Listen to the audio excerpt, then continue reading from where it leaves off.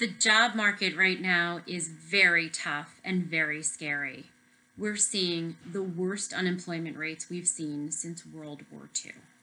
What do you do now to get yourself to stand out and be differentiated among others when looking for a job? Here are three of my favorite tips.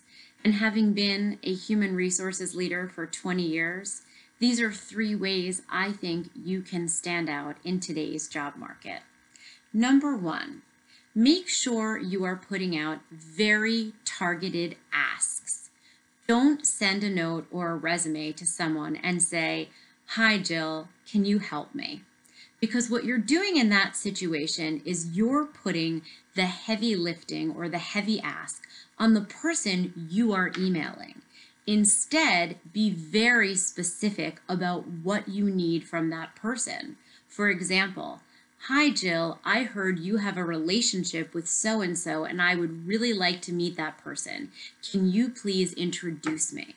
That way, the person you're emailing knows exactly what it is that you're hoping they will do for you, and they can decide if they want to do it or not.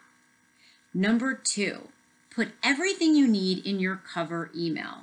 The more work someone has to do, the less likely, unfortunate, they are to do it.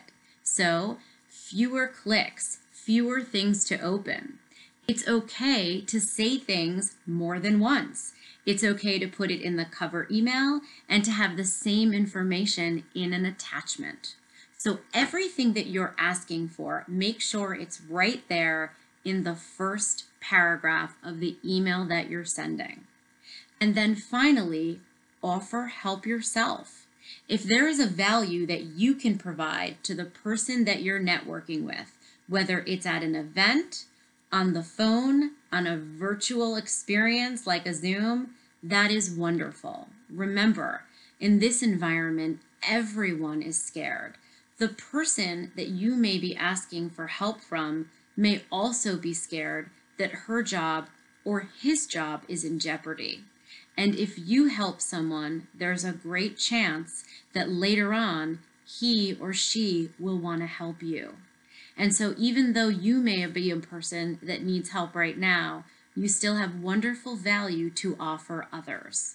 So make your asks very targeted, put everything you need or want in your email note right off the bat, and see if there's something you can do to offer help to others.